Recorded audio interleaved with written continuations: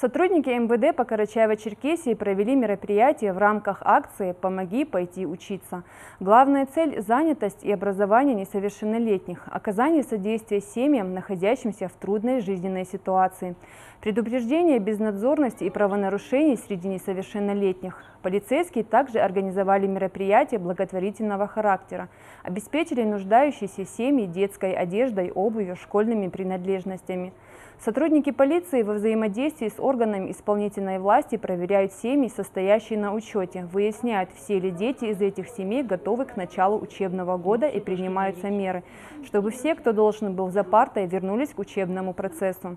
Акцию МВД России традиционно поддерживают органы власти, общественники, частные лица, предприниматели и средства массовой информации. Э, Каждый год э, меня сюда приглашают, чтобы себе одежду купить на школу, еще, э, чтобы старые вещи уже все не носить, они уже маленькие становятся.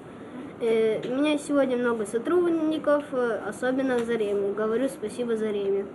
Ну, кеды, кроссовки, все подошло, мяч, много штанов, э, пиджак. К сегодняшней благотворительной акции присоединились сотрудники прокуратуры и судебных приставов.